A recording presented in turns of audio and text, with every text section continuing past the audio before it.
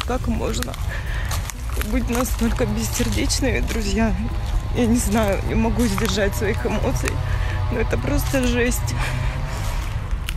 Это просто какой-то кошмар. У меня такое впечатление, что вся эта боль отражается на мне. Вот, вот этот спил деревьев, это какой-то кошмар.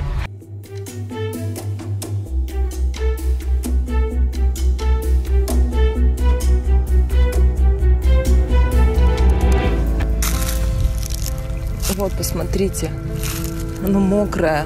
Просто такое впечатление, что, я не знаю, тут весь парк рыдает.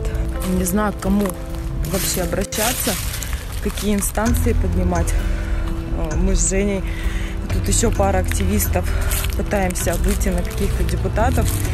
Но ничего не получается. Дерево упало и на другие деревья. Это, это дерево по проекту вообще не должны были трогать, но поскольку, поскольку решили сэкономить и не пилить дерево частями, а валить его полностью, оно своим весом убивает деревья, которые стоят. Причем это те деревья, которые не, э, не включены в проект. Вы довольны этим?